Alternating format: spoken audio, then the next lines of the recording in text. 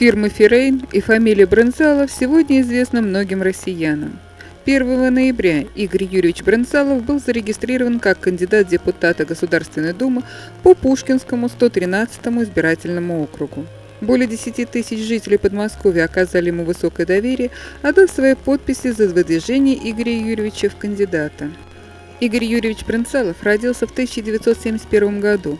Родители родом из города Западная Двина Тверской области. Игорь Юрьевич на отлично закончил техникум, затем инженерно-строительный факультет Политехнического института.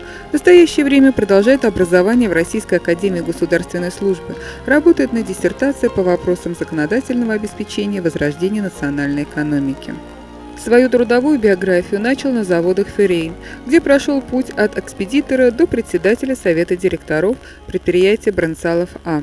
Он возглавлял строительство одного из крупнейших в мире заводов по производству инъекционных препаратов, который значительно укрепил лекарственную безопасность России. Сегодня на территории предприятия объединения «Феррейн» Бронцалов Игорь Юрьевич провел свою пресс-конференцию. На этой конференции собралось около 30 представителей СМИ Подмосковья из Балашихи, Реутова, Железнодорожного, Пушкина, Ивантеевки и Красноармейска. Игорь Юрьевич ответил на вопросы журналистов. Поздравление, это, конечно, первый шаг такой. Я его так назвал. 5% проделанной всей работы, хотя оно так с нервами далось, потому что э, мы и вы как средство массовой информации в курсе всех этих избирательных технологий, которые вот последние уже полтора года осваиваются на постпространстве бывшего СССР, где протекают выборы, в том числе и наигрязнейшие, грязные технологии. Вот мы немножко столкнулись с такой проблемой, так как по ряду причин из-за того, что я иду еще от партии русской социалистической, мне пришлось зарегистрироваться чуть попозже, после того, как партия все свои регламентные процедуры сделала. И мне пришлось после этого только собирать подписи, поэтому затянулся срок регистрации. А в этот период... Но здесь я должен добавить, Игорь Ильич, что за полторы недели мы собрали 15 тысяч голосов. Это говорит о том, что массовая поддержка у нас есть. Это ну, важно. Поддержка, естественно, я являюсь депутатом Московской областной думы, и я не просто числюсь, а работаю и с населением, в частности в своем округе в Балашихинском, поэтому меня многие знают. Кроме того, он вкратце рассказал о деятельности предприятия Бронцалов А. Сказать, что это прежде всего э, объединение предприятий. И в нашу, не будем скрывать, что входит ликероводочная промышленность в наше объединение, как фармацевтическая, ликероводочная, э, текстильная промышленность. У нас ну, есть представители текстильной промышленности, сельского хозяйства, виноделия, виноградарский комплекс. Почему об этом тогда не говорят? Да, выпускаем водку, да, платим налоги, да, создаем рабочие места, выпускаем этот продукт качественный, качественный, надо э, не забывать. И имеем опыт выпуска этого продукта, потому что уже э, более 7 лет выпускаем этот продукт водка, это национальный продукт. Почему о нем нельзя Россия. ну, вообще говорить калечат? Ну, нельзя людей отодвинуть от э, употребления этого напитка, потому что Горбачев один раз отодвинул, и мы видели, что с этого получилось. Бюджет, наполнения бюджета, раз. А второе, начали отравление получать э, больше, чем в Афганистане людей погибло от того, что употребляли всякие денатураты и тому подобное. Мы решаем этот вопрос, выпускаем качественную продукцию, создаем рабочие места и платим налоги. Вот что я могу ответить на этот вопрос. Это одно из э, просто подразделений нашего производства, от которого мы не хотим открещиваться, потому что оно было основано, является градообразующим предприятием в том городе, где оно находится, в городе Электрогорске. Более трех тысяч работающих, извините меня, из 12-тысячного населения города. А вообще оно по объему э, выпуска, ну вообще э, общего продукта товарооборота нашего предприятия составляет всего 5%. Так что давайте концентрировать вопрос вокруг водки. Да, будем обсуждать, что водка. А почему не говорить, что 95% э, нашего оборота составляют лекарства? И вообще 15% рынка России наши препараты, выпущенные из ЗАО Бронцалов А.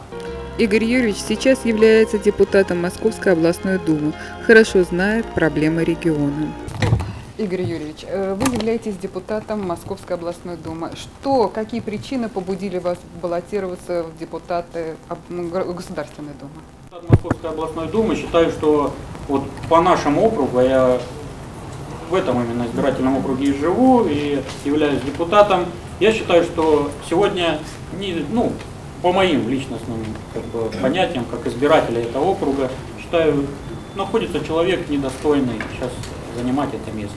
Поэтому я пошел на выборы раз, а второе, я хочу представлять интересы своих избирателей именно в Государственной Думе, а не в областной Думе, и решать проблемы, связанные с именно с вопросами государственной важности, потому что мы сегодня докатились до того, что у нас Дума стала до того политизированным органом, не законотворческим, а политическим органом, который именно почему-то политические вопросы с отставкой президента, там, ситуации в стране, и вот это все вокруг вот этого крутится. Дума должна делать законы. Вот если вы помните ту предвыборную кампанию и эту, лозунги одни и те же. Снизить налоги, поднять промышленность. Что за 4 года ни одного закона не сделано, которые бы снизили налоги, раз, второе, подняли промышленность, два. Это две первые составляющие. И увеличили зарплату среднюю, ну, минимальную и пенсии. Это все основные составляющие, которые надо решить, чтобы хотя бы заработало государство и промышленность. А потом все остальное решать. Даже этого ничего не решено. Все переведено в политику. У нас все сегодня первые лица фракции это политические люди, они даже не хотят о законотворчестве разговаривать, а их подопечные ударили вслед за ними. По митингам, по шествиям и так далее и тому подобное. Сидите в комитетах, работайте, создавайте законы. Вот этим надо заниматься. Поэтому и пошел. Каковы основные пункты вашей избирательной программы? Конечно, реформы вообще промышленности, экономики, это снижение налогов, увеличение заработной платы, в частности, и пенсии, и бюджетных организаций, которые зависят от этого всего. Э, Конечно, посмотреть там по приватизации много вопросов. Э, Все, что связано с экономикой страны, включено в мою программу. Именно экономические принципы, прежде всего, сегодня у нас э, проблемы государственности. Остальное все политическое можно вот так отчеркнуть, бросить это все и решать потом, когда мы заведем тот самый маховик, маховик, который сделает несколько оборотов, э, стерет эту старую налетевшую пыль, и появится масло, и работа будет э, вот этой детали работать. Прежде всего промышленность. Без промышленности мы никуда. Любое государство, не имеющее свою развитую промышленность, является придатком другого государства. Мы сегодня стремимся, чтобы стать, явное стремление у нас показывается, чтобы стать придатком известно какое, какого государства. Вот это самое страшное, и вот, э- вот над этим я хочу работать. И на этом основана вся моя программа. Ну а социальные вопросы? Социально, естественно, естественно, соци... я сказал, ну, что первые вопросы, которые... Социальное же оно без этого никуда, потому что предприятия платят налоги. Откуда берутся? Деньги с воздуха не печатаются. Напечатаешь больше денег, вы знаете, что будет, инфляция будет. А деньги прежде всего берутся, что предприятия работают, создают рабочие места, платят заработную плату, платят налоги и развиваются. Только тогда появляются какие-то дензнаки. А так Центробанк их в оборот не может просто так. Хотя у него такое право есть, но вы знаете, когда они пользуются этим правом, к чему приходим мы с вами. Компания работает над тем, чтобы создать мощную отечественную фармацевтическую индустрию, способную насытить отечественный рынок лекарствами, отказавшись от покупок медикаментов за рубежом. Последним достижением работников предприятия «Феррейн» является отечественный инсулин. Цех построен по розливу инсулина. Это длительная программа была с Новонордисом. Таким способом, построив этот уникальный э, завод, мы забрали у них технологии. Сегодня мы единственные в России, кто владеет технологией э, производства э, человеческого инсулина, синтетического инсулина и животного инсулина, который имеет Novo Nordisk один в один. Мы умеем делать, знаем, как это делается. Проблема в субстанции упирается. Субстанцию мы сейчас еще имеем, но ее достать все тяжелее и тяжелее. Э, Такой законопроект мы в Московской областной думе сделали об инвестициях и строительстве такого предприятия на территории Московской области. И в такой инвестиционный проект включилось наше предприятие на территории города Электрогорска Московской области, Павлопосадский район. Уже создан проект, ну, разработан проект, который стоит около 86 миллионов долларов. Э, совместно э, с немецкими разработчиками будем строить э, производство субстанции, то есть кристаллическая форма инсулина, из которой и делается сам инсулин. Проблема, конечно, жизни и смерти в нашей стране, потому что 7, от, 8 до 8, от 7 до 8 процентов у нас сахарным диабетом болеют, инсулинозависимые люди. Но государство не хочет обращать на это внимание. Мы все это делали за свои средства, решая государственную проблему и проблему вообще, как говорится, ну, государственной важности и вообще стратегической важности в нашей стране, потому что это очень большая и весомая задача, потому что если нам кто-то решит э, не поставлять инсулин, вы можете понять, что в один прекрасный день мы решим жизни 8% населения. А сегодня у нас на складах лежит инсулина на 20 миллионов долларов, а государство потратило в этом году 200 миллионов долларов на закупку инсулина у фирмы Nova Nortis, у Лили Лили, у Хёкста. И мы подали, оспорили это действие в прокуратуру, хотя уже деньги потрачены, инсулин завезен, раздается. Ну, что поделаешь, если у нас такие деятели, Такое государство. которые тратят деньги неизвестно кому и неизвестно для кого, но извините меня, нам бы эти 200 миллионов долларов, ох, как бы не помешали. Это бы колоссальный просто толчок для нашего производства был. Я повторю, что если нам дать немножко госзаказа, то эти мощности так заработают, что тут надо будет экологический фон проверять.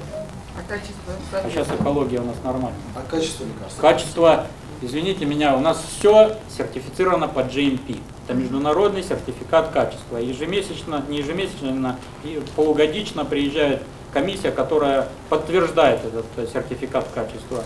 А он дает право продавать страны Западной Европы и США, то есть в развитые страны мира. И это о том и говорит, что плохого качества от нас ждать просто не следует. Мы уже имеем марку, имеем марку качества, имеем специалистов, которые знают, как это качество поддерживать. В последнее время во многих городах Подмосковья появились аптеки, на вывесках которых указано ферин бренцалов. Если сравнивать цены на лекарства здесь с ценами в других аптеках, то окажется, что в аптеках фирмы Ферин лекарства стоят раза в два дешевле, чем везде. Систему аптек э, наше предприятие будет развивать, делать. Первая аптека открылась в Балашах, сейчас в железнодорожном будет э, уже подыскано помещение, там будет строиться аптеки. Что это влечет? Те наши препараты, которые по прайс-листу отпускаются, будут по той же самой цене в аптеках. Пример простой. Аптека на второй Балашихе сегодня имеет э, товарооборот равный центральной аптеке города Балаших, которая работает круглосуточно. То есть люди все знают порядок цен препаратов, идут туда в аптеку, знают, что там уже в два раза дешевле, нету этих накруток, нету ничего. После пяти часов очередь. Две кассы пришлось сделать, товарооборот очень колоссальный, и я намерен сделать эту сеть аптек по Московской области. Социальные аптеки.